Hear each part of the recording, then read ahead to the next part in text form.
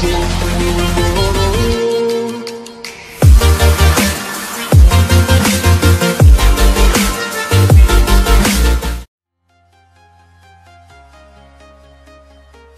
teman, selamat datang di channel Abiandra Official.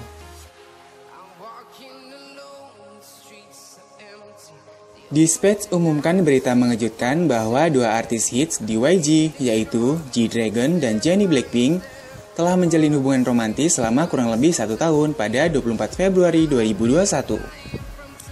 Kedua artis ini merupakan dua representasi fashionista di YG Entertainment nih guys. Gaya berpakaian mereka pun selalu menjadi panutan tren busana di Korea Selatan. Satu merek busana ternama di dunia yaitu Chanel bahkan memilih Jennie dan G-Dragon sebagai brand ambassador mereka. Yuk simak 10 potret Jennie dan G-Dragon yang terkenal dengan aura mahal dan mewahnya dalam balutan busana Chanel berikut ini. Eits, simak sampai selesai ya guys, supaya kamu mendapatkan informasi yang lebih banyak.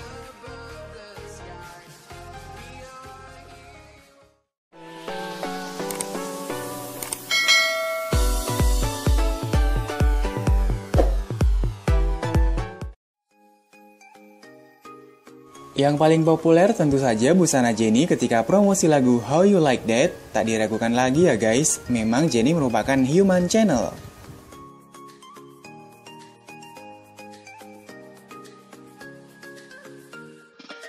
Disebut sebagai pelopor fashion Korea, G-Dragon tampil ikonik dengan busana dan kipas channelnya.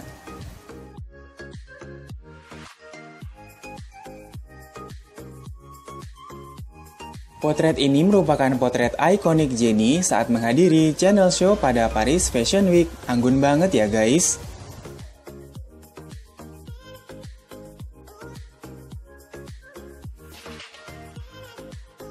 Hadir di acara yang sama seperti Jennie, G-Dragon mengenakan busana channel wanita yang ternyata cocok banget untuk ia pakai.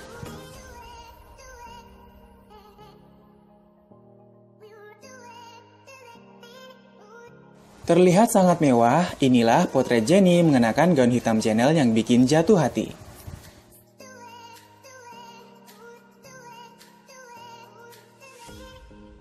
Tampil mewah dengan jaket channel dan segala aksesorisnya, G-Dragon terlihat keren abis nih.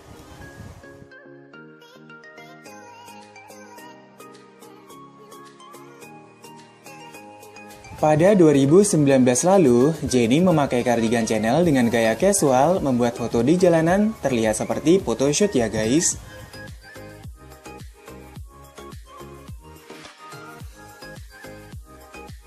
Nyentrik dengan topi bulu hitamnya, G-Dragon menarik banyak perhatian di channel Tour Show.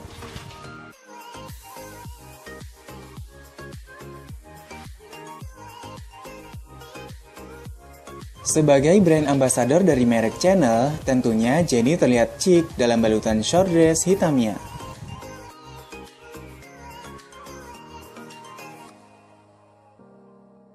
Lebih dulu menjadi brand ambassador Channel daripada Jennie, G-Dragon menunjukkan pesona mewahnya.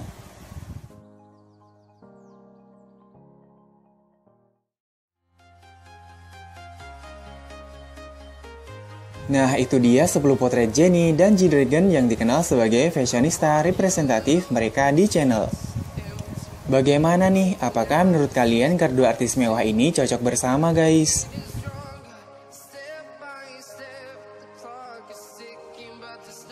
Terima kasih sudah menonton video ini, like jika kamu suka, dan berikan tanggapanmu di kolom komentar. Sampai jumpa di video selanjutnya.